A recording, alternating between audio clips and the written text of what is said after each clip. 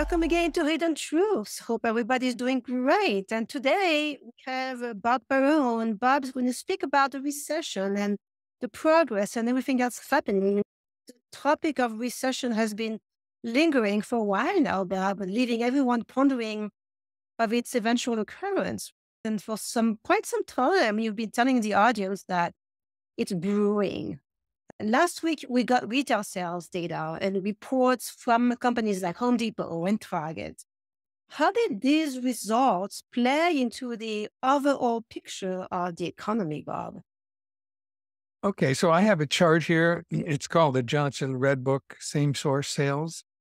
Mm-hmm. And uh, so the first thing to note is that same store sales have continued to decline now for quite some time. Retail sales, they came out last week. The seasonally adjusted number in April was plus 0.4%. And that, that was a month over month, so it was higher than March's by that amount. And the financial media thought this was fantastic. However, if you just get a little more sophisticated and look at the not seasonally adjusted data, you'll see that in April, not seasonally adjusted retail sales actually fell 2.4%. And this was the worst showing in for any April in the last five years if we exclude the pandemic. If we just look at it from year ago sales, the not seasonally adjusted sales were down 1%. That's $5.8 billion. So they were lower in April than they were in April of 22. Now, think about this. Over that time period, inflation has risen 5%. Okay. So if the nominal sales were down 1% and inflation was up by 5%, in real terms, volumes are down 6%. That is very significant. And it does show you that uh, despite the people on TV who keep on saying the economy is in good shape, it isn't. Now, I have a table that shows some of the changes in some of the categories. For example, furniture was down 0.7% month over month and 6.4% on a year over year basis. And it's been negative in three months running and in four of the last five months. Electronics and appliances, they were down a half a percent, down 7.3% year over year, negative now three months in a row. Building materials were actually up a half a percent, but they're still down nearly 4% on a year over year basis. Sporting goods. So you think about the consumer. If the consumer has a lot of money, they buy stuff and likely sporting goods, golf clubs, that kind of stuff, right? When they don't have money, they don't. They use the old golf clubs. So sporting goods were down 3.3%. That's quite large for any one month. And down 5.5% uh, year over year and are now down like the others three months in a row. So last week we had uh, one of the bellwether companies for U.S. consumer spending, Home Depot, report. They had the worst revenue miss in more than 20 years. Wow. They missed expectations on their revenues by more than a billion dollars. The actual sales were 37.3 billion and the street expected 38.3 billion. And then the company guided its revenue outlook lower for the next quarter and the next year by 3.5%, and its earnings per share, they guided lower by 10%. That's huge. Okay. Big ticket items, they said, were particularly hit hard. They were off 6.5% from year earlier levels. And we'll see this again when we talk about Target. Mm-hmm. And the company said its inventories remained bloated. The inventories were 13% higher than in the same quarter in 2022. So for the consumer, that's good news because loaded inventories mean things go on sale. Orders continued to decline at Cisco. That's one of the big uh, tech producing industries. And that's for several quarters in a row that they've declined. Target as I said earlier, missed its revenue expectation just Home Depot did. It said that sales slowed, particularly in the discretionary categories in March, and then fur- further deteriorated in April. So we're on a downtrend at Target. A weakening consumer also shows through when you look at the big boost in credit card balances that occurred in, in the first quarter. $148 billion more in credit card balances. And that's kind of shocking given that interest rates on credit cards are 25% or more. And at the same time, as you can see in the charts I have here, we see a spike up in, in auto loan delinquencies and also in credit card delinquencies. And you'll note there's three lines in each of the charts. The dark dotted line are people in the uh, in their 20s, and the dot dash blue line are people in their 30s. So they have particularly been hard hit, and their delinquency rates are rising rapidly. Now, make matters worse, Bank of America says that beginning in September or maybe October, the student loan payments will have to restart. That's 200 to $400 a month for 30 million borrowers. Yeah. So just let's look at this. There are currently 43 million Americans who owe the federal government $1.6 billion in student loans.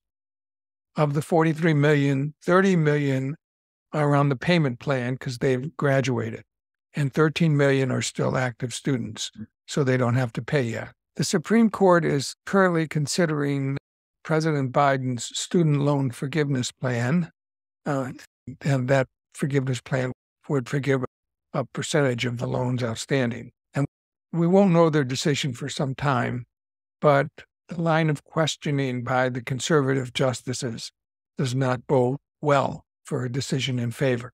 So it looks like, at least from the line of questioning, that loan forgiveness will not go through. Yeah, I mean, that obviously is going to change the life of a lot of people, millions right. of people. That's dramatic. Two hundred to four hundred dollars a month, they yeah. can't consume. Um, are there any other signs of economic stress in the consumer sector, Bob? Well, let's look at gasoline sales. They were down 0.8% in April and have now been down six months in a row. Okay, if we look at the CPI and we look at the gasoline component of the CPI, we will see that it is lower by 12% from a year earlier. Okay. Yeah. So that's good news. Nominal sales, however, in gasoline are down 15%. So, putting the numbers together in volume terms, we see that in, in we have a 3% decline in gasoline usage.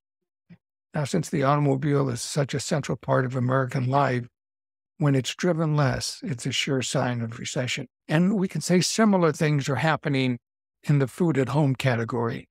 Grocery sales were down 0.2% in April, and on top of a 0.3% fall in March. And these sales have now been negative in four of the last five months. Let's do the same analysis that we did with the autos. Look at the CPI. The food at home prices were up 1.7% in the April, in the December to April period, so over that five months. Sure. At the same time, sales at grocery stores fell 2.3%. So if we take and put the two together again, we see a negative 4% in real terms. Now, clearly, the typical American family is trading down.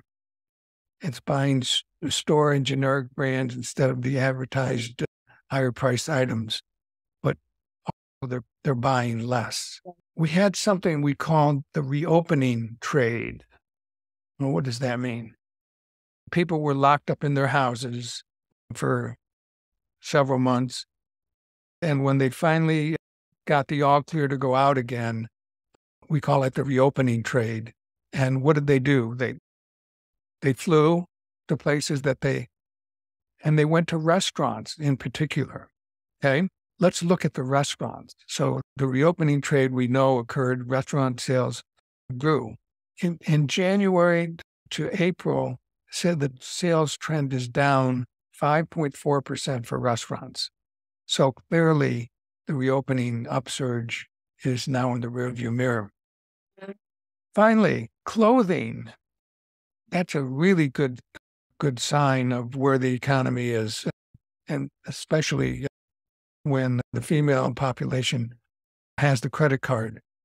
If clothing fa- sales fall, it's a bad sign. And they were off 2.3% in April, and they were off 2% before that in March.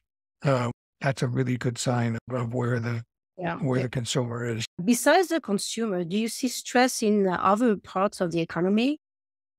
Yes, of course. The banking crisis isn't making headlines, but it's still there. What's being ignored is that rapidly rising interest rates not only cause losses in the bank's bond portfolio, which is easy to measure because you can look at market prices, but it is having a significant impact on their loan portfolios.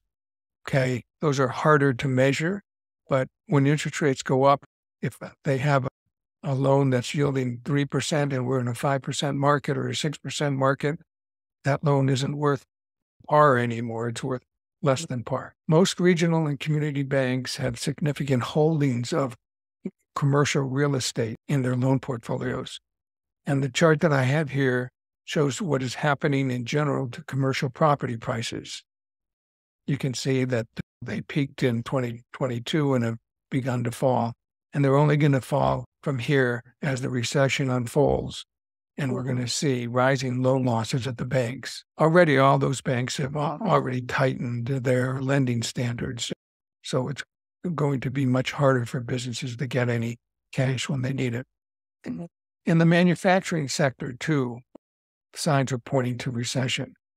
I have a chart here that shows what is called the ISM, that's the Institute for Supply Management, their manufacturing PMI, which stands for Purchasing Managers Index. It has been below 50 for seven straight months.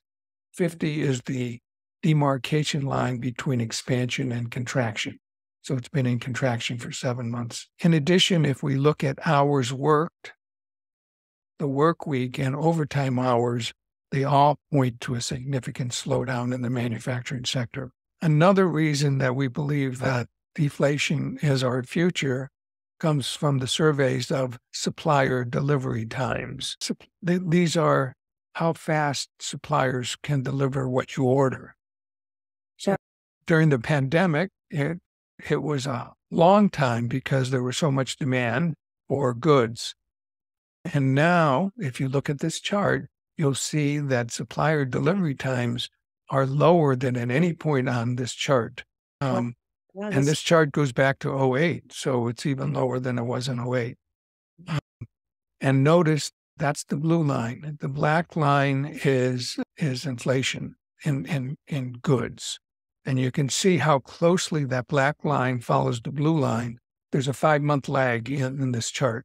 So in five months, we can expect that goods inflation will be negative, probably negative two, three, or four percent. Right.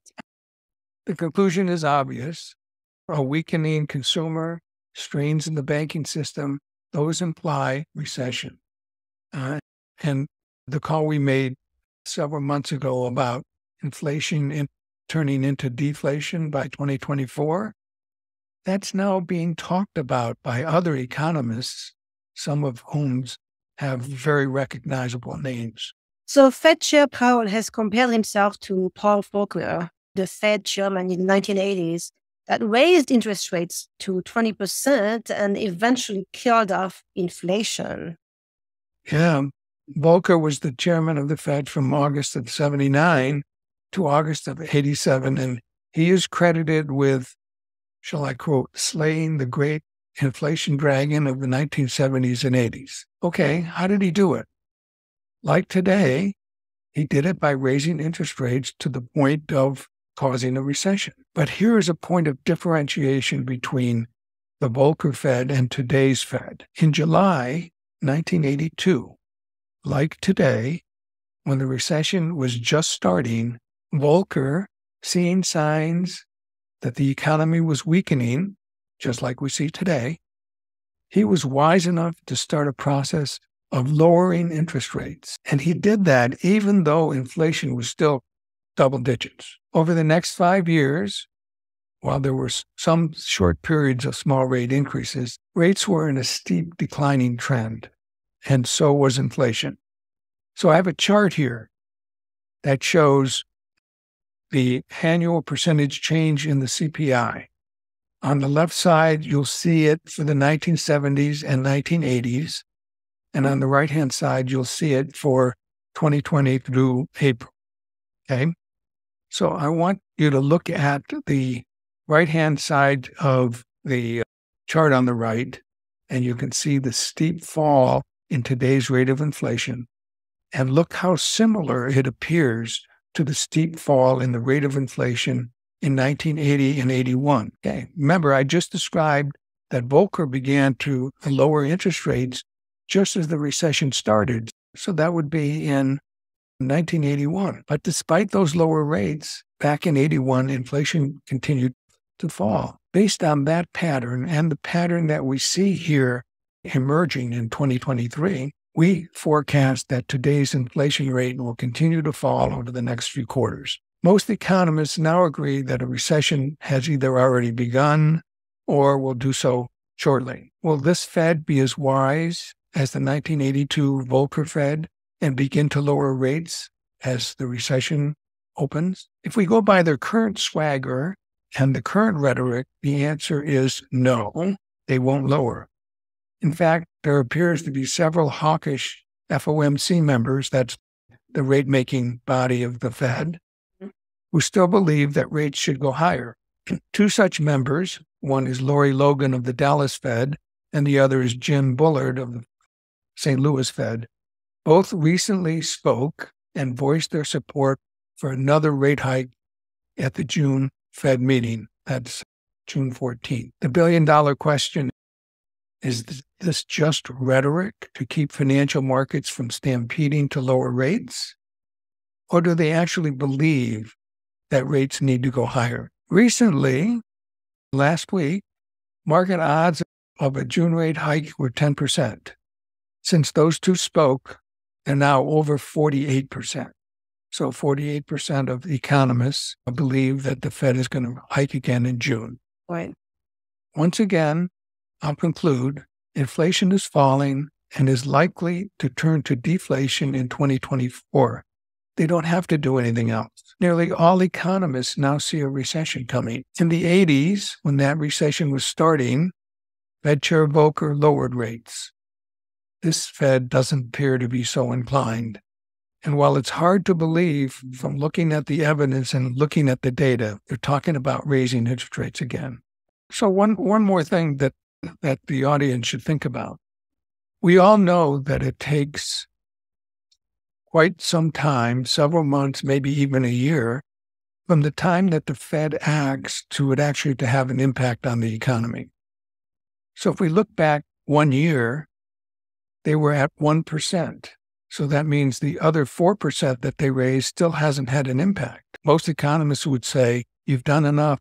Wait and see what happens. I don't know where they get their data from, but these, this set of FOMC folks just seems to want to uh, overkill it. Thank you so much, Bob. Appreciate it very much. For everyone else, hope you enjoyed this topic with Bob. Remember to subscribe to the channel and share with your network, and we will see you next time.